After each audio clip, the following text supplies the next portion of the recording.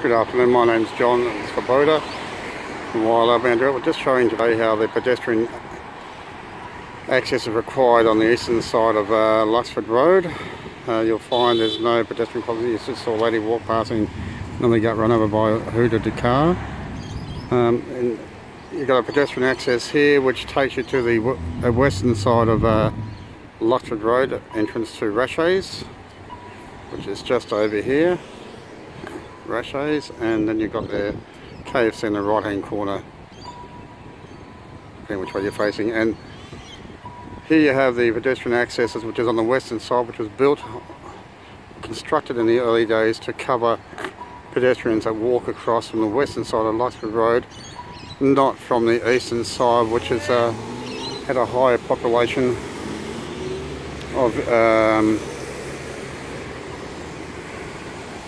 from units and flats and townhouses behind behind Shindon Walkway.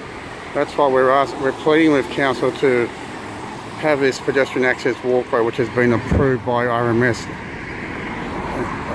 21 months ago or so to be constructed to, to make it easy access for, for pedestrians. Thank you very much.